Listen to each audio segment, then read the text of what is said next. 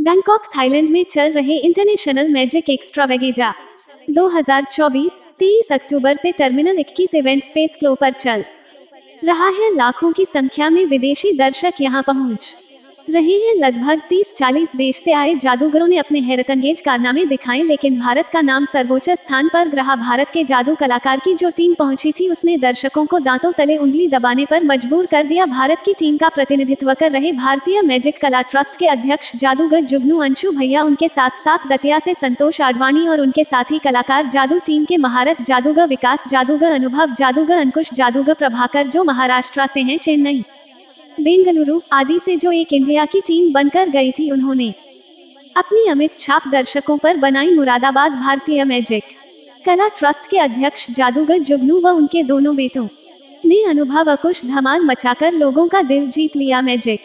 Magic maker Delhi से राजकुमार दतिया से संतोष आडवाणी ने अपने नए नए क्रिएशन विदेशी कलाकारों के सामने पेश किया। सभी कलाकारों ने ऑर्गेनाइजर ने भारत से आए सभी जादूगरों का सम्मान किया। जादूगरों का मुख्य अवार्ड मलिन अवार्ड ये भी भारत के हिस्से में पहुँचा। अभी यह कार्यक्रम 28 अक्टूबर तक निरंतर चलेगा। भारत के सभी जादू कला के महारथ जादूगरों को विदेश में आज सम्मान की दृष्टि से देखा जा रहा है। कार्यक्रम इंटरनेशनल मैजिक अकेडमी थाईलैंड के मावाड़ा द्वारा किया गया। इस अंतर्राष्ट्रीय सम्मेलन में Hong Kong Japan Philippines Africa Thailand चीन सिंगापुर भारत और अन्य देशों के जादू कलाकार सम्मिलित हुए।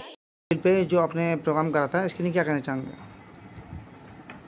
भारतीय मैजिक कला ट्रस्ट मुरादाबाद की ओर से एक team international magic extra avenger 2024 Thailand जो कि टर्मिनल 21 में यहाँ आयोजित की गई जिसके आयोजक थे मैजिशियन ममाडा।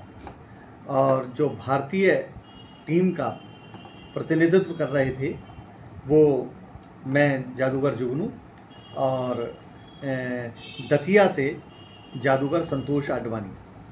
हमारे नेतृत्व में यहाँ से कम से कम आठ या दस आर्टिस्ट वहाँ गए और वहाँ उन्होंने अपना धमाल करा।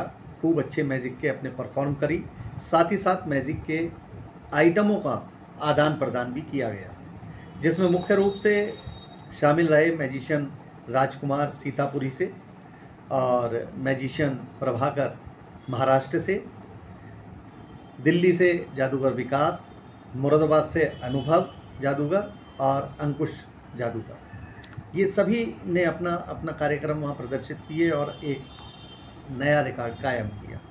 सर, कौन चीज़ गेस्ट आए हुए थे चीफ गेस्ट वहाँ के आप ये देखिए लगभग 40 देशों के वहाँ जादूगर वहाँ मौजूद थे जो बहुत सीनियर थे जिसमें हांगकांग से चाइना से श्रीलंका से अफ्रीका से और ना जाने कहाँ कहाँ से मतलब एक से एक बढ़ के वहाँ आर्टिस्ट वहाँ पहुँचे हुए थे और सबका एक दूसरे से कॉन्वोकेशन हुआ और साथ ही साथ मैजिक का आदान प्रदान हुआ।